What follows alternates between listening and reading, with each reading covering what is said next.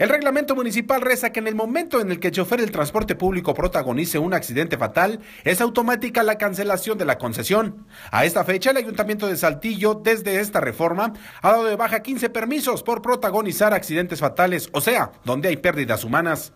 El Ayuntamiento de Saltillo se respalda en los dictámenes del Ministerio Público para determinar si se cancela o no la concesión o el permiso. Los factores a resaltar es la falta de pericia por carecer de capacitación y estar bajo la influencia del alcohol o alguna droga.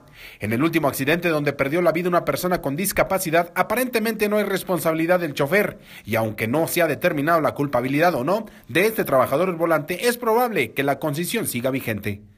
Con la imagen de Carlos Hinojosa para RCG informó Enrique Hurtado.